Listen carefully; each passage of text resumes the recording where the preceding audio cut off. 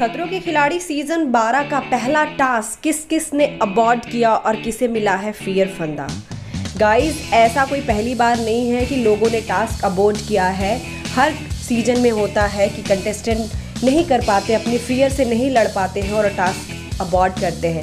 First week के stunt में ये काफ़ी देखा जाता है कि कंटेस्टेंट ने अपना टास्क अबॉर्ड किया। आप सबको पता है कि जो पहला टास्क हुआ था, वो एरोप्लेन और वाटर टास्क और इलेक्ट्रिक टास्क था, दूसरा जो स्टंट ऐसा होता है कि दो टास्क होते हैं, उसके जो बॉटम ट्यूब होते हैं, जिसको फियर फंदा मिलता है, जो टास्क नहीं कर पाते हैं, या टाइम से कंप्लीट नहीं कर पाते हैं, वो एलिमिनेशन टास्क परफॉर्म करते हैं। एलिमिनेशन टास्क नहीं हुआ है, दो टास्क हो चुके हैं, चार कंटेस्टेंट को फियर फंदा मिला है।